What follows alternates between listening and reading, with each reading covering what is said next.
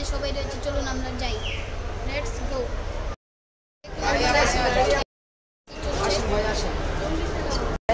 আপনারা দেখতে পাচ্ছেন, এখানে হচ্ছে। হ্যাঁ, আমি রয়েছে আশিক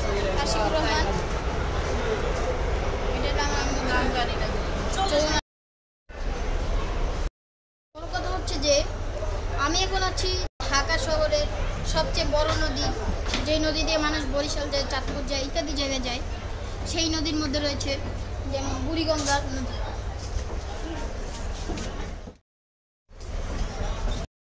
নদীতে রয়েছে এবং আমাদের এটা লঞ্চের কেবিন লঞ্চ থেকে বের হয়ে আমরা আবার যে সময় বরিশাল যাব, তখন একটি শট নেব। এর আগেও আমি কিছু নিতে পারি, যদি আমি সময় পাই তাহলে। তো আপনারা দেখুন আমার ব্লগটি এবং এনজয় করুন। আপনাদের পরিচয় করিয়ে দেব। আমাদের তুমি কিছু বলো। আলহামদুলিল্লাহ আমরা রওনা দিচ্ছি বরিশালের পথে। পারাবাদ দশ লঞ্চ। কেবিন নম্বর বলতে হবে? কেবিন নাম্বার হইলে কি আপনারা সবাই দোয়া করেন আমার জন্য আমাদের জন্য। আমরা ভাই বোন সবাই মিলে যাচ্ছি। ভাই বউ হ্যাঁ? যাতে আমরা ভালোবাসা ভালোভাবে পৌঁছাতে পারি দোয়া করি তো এখন আমি আমার আম্মুর শট নিলাম এটা আমার ছোট ভাই এবার আমার ছোট ভাই আছে। هلا اجا الزعيم العظيم আশিক লজ্জা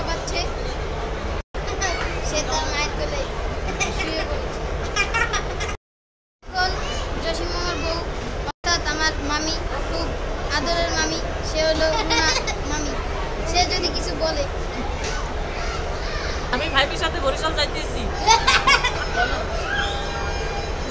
বরিশাল নিয়ে পার্কে ঘুরাবে চিড়িয়াখানা যাবো আর কত টাকা নিবা? هلا اجا الزعيم العظيم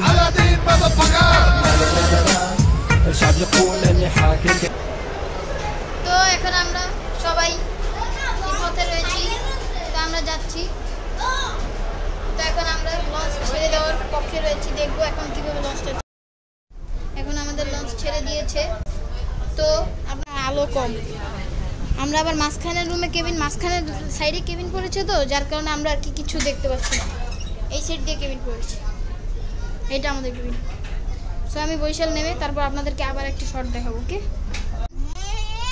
এখানে সুমাইয়া রয়েছে, আম্মু রয়েছে, সুমাইয়াকে খাওয়া দেওয়া হচ্ছে। কিন্তু আশিক একা একা খেচ্ছে। আমরা সবাই একই কেবিনে আছি। মামা ওই ছেলে কেবিনে রয়েছে। আমরা বৈশালে গিয়ে আবার একটি ফুটেজ নেব। আমাদের লঞ্চটা সবার আগে এসছে। কিন্তু এখন আমাদের মাঝে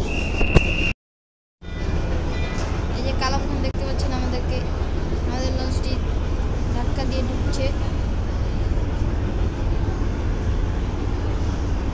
কিন্তু অথচ আমাদের লঞ্চটির আগে, সেই লঞ্চটি ছাড়া হয়েছিল কিন্তু সে কুয়াশা আটকা পড়েছে হয়তো বা তাই আসতে পারেনি। আমি হাত মুখ ধুয়ে আসলাম। এখন আমরা কেবিনে যাব। তারপর নেমে বরিশালে যাওয়ার সময় একটা আমি মোহাম্মদ ফাইম মোর্শেদ। আপনারা কালকে রাতে দেখলেন আমি লঞ্চে ছিলাম। এখন আমি এখন আমার দাদা ভাই নানা বাড়ি সরি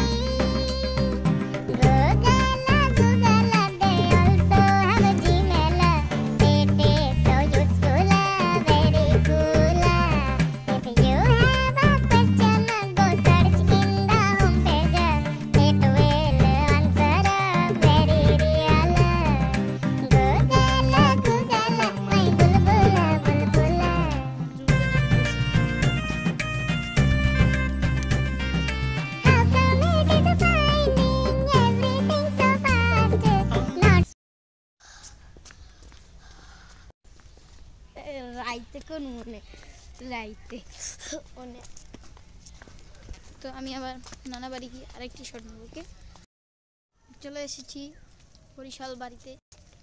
এই যে আমাদের বাড়ি, নানা বাড়ি। তো অনেক কষ্টে টষ্টে এসেছি। আপনাদের কাছে আমি সহানুভূতি জাগাতে চাচ্ছি যে আমি আপনাদের মাঝে ওই শটটি আমি নিতে পারিনি। কারণ ওখানে অনেক মানুষ ছিল এবং গাড়ির মধ্যে নেওয়া যায়নি। এছাড়া আমার অনেক ঠান্ডা লেগে গেছে। এটা হলো বড় কথা। তারপর খুব কুয়াশা এলাকায়। পুরোটাই আমাদের বাড়ির কাছে।